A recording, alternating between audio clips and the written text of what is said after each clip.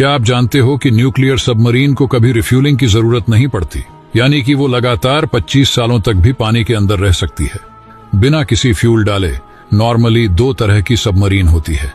एक जो डीजल से चलती है और दूसरी वो जो न्यूक्लियर पावर से चलती है। Diesel submarine 50 lakh litre diesel में जितना चलती है। उतना न्यूक्लियर सबमरीन सिर्फ़ चार किलो यूरेनियम में चलती है।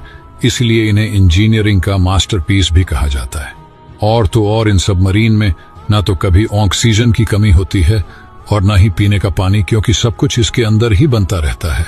ऐसे ही साइंस वीडियो के लिए साइंस पीडिया को फॉलो करें।